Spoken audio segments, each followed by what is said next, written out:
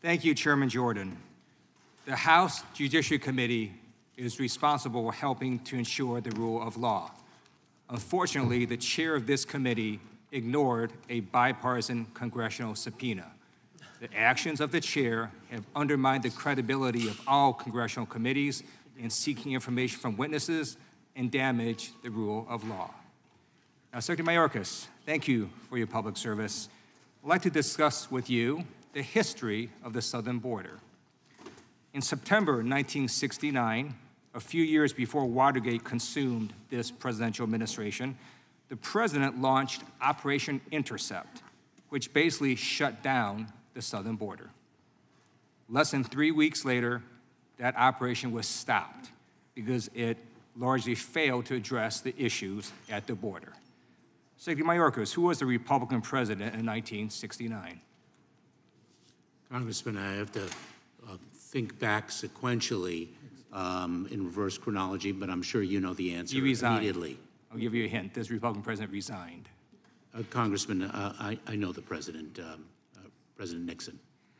Thank you. After Nixon resigned in 1974, his vice president became president.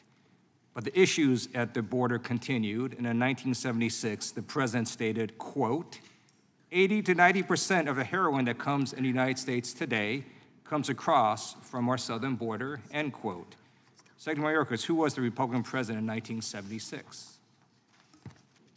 The vice president to Nixon. Uh, I'm sorry, He was the vice president to Richard Nixon. Gerald Ford, are you Yes, speaking that's of? correct. Yeah, And I- I- then, the Congressman, I'd prefer not to answer questions of history right now. My focus is on Right. the I'm work I'm gonna help you with it. Homeland Security. I'm going to help you with this. In the 1980s, the Republican president had promised morning in America again. But the issues at the southern border continued, prompting him to order a partial shutdown of the border in 1985.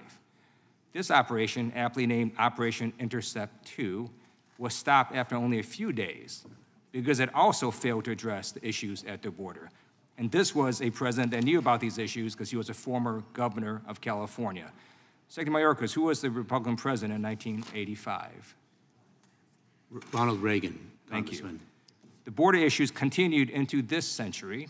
In 2006, the president, who was also familiar with the border because he was a former governor of Texas, declared that, quote, for decades, the United States has not been in complete control of its borders, end quote. Secretary Mayorkas, who was the Republican president in 2006? President Bush, Okay. Congressman. In the prior administration, the Republican president tried to solve their issues at the border, and he failed. I would now like to show a video of what was actually happening during the prior administration in 2018. So after you This can play is the a pit stop on a punishing journey to the U.S. border, and it's still just the beginning. Migrants from Honduras, Guatemala, and El Salvador continue to make their way north, fleeing poverty, persecution, and gang violence. The caravan now includes an estimated 7,200 migrants, and more are expected to join tomorrow, potentially pushing the number past 10,000. In May 2019, the situation got even worse. Politico published an article on June 5, 2019, that was titled, Border Arrests Rose to Nearly 132,000 in May as the border surge continues. Secretary Mayorkas, who was the Republican president in 2018 and 2019? President Trump, Congressman. And now we're here in 2023.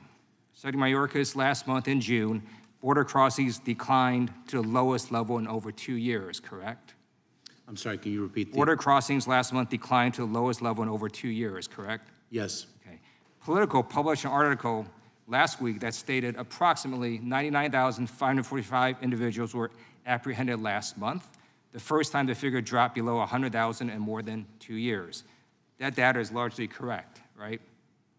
I, I believe so, yes. All right, so based on the facts that you testified to, here's this chart. Shows that under Trump, there were 133,000 border apprehensions in May 2019, and last month, under the Biden administration, there were less than 100,000 border apprehensions. The facts show the southern border is doing better last month than it was under Trump in May 2019. Thank you, Secretary Mayorkas, for your public service. And now the Republicans want to impeach you. Good luck with that one. I yield back. Gentleman yields back the